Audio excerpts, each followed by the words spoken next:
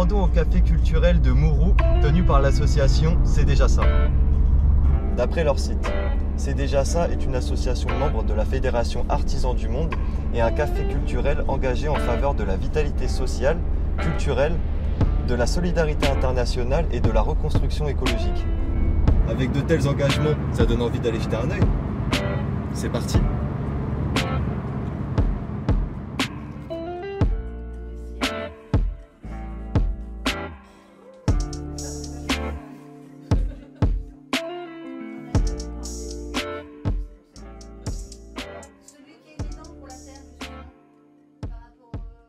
je suis Muriel Icarette et je pratique l'Ayurveda en mouvement. Et je suis formée à la structuration psychocorporelle. Donc, je mélange la sagesse de l'Ayurveda euh, et je mets ça en mouvement. En plus, avec ce qu'on vient de vivre, avoir un lieu où, chacun, euh, avec son histoire, euh, ses envies, euh, se retrouve, discute, échange, partage, euh, c'est vraiment précieux.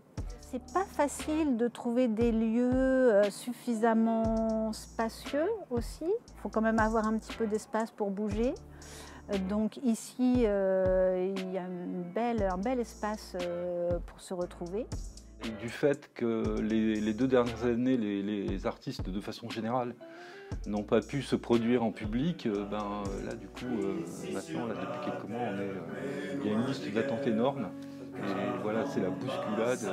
90% de ce qui existe maintenant, ça vient pas de nous, en fait. Ça vient pas des fondateurs, ça vient de... Voilà. Et qu'ils font évoluer. Et... Ouais, c'est ça. C'est tout à fait ça. Depuis deux siècles, le nombre d'établissements où l'on peut se réunir a diminué de façon significative. Au début du 19e siècle, on comptait plus d'un demi-million de bistrots, et ce chiffre n'a fait que baisser pour passer sous la barre des 40 000 dans les années 2010. Mais avant la crise sanitaire, on constatait une augmentation stable du nombre d'établissements de 20% depuis 2016. Parmi ces nouveaux cafés, des lieux d'un genre différent. Bar à thème, café-concert, ainsi que les cafés culturels. Euh, depuis le, le 15e siècle, en fait, c'est des vieux établissements, hein, les débits de boissons avaient une vocation sociale très forte. D'ailleurs, euh, au XVIIIe siècle, l'encyclopédie, les idées de la Révolution française, euh, la Constitution des États-Unis ont, été euh, rédigées ou diffusées grâce à des cafés, mais aussi des mouvements artistiques, le jazz, dans les cabarets, le mouvement féministe, le surréalisme au niveau littéraire. Enfin, il y a, ça a toujours été des lieux de, brassage social, intellectuel, artistique. Alors, je vais te dire un truc. En, nous, en Bretagne, c'était le lieu obligatoire. Donc, à un moment, il y avait des troquets partout. hein, parce que justement, les gens avaient besoin de parler, donc, euh, et de boire, de s'amuser, tout ça. Mais c'était notre, notre, comme ça qu'on rentrait dans la vie, en fait.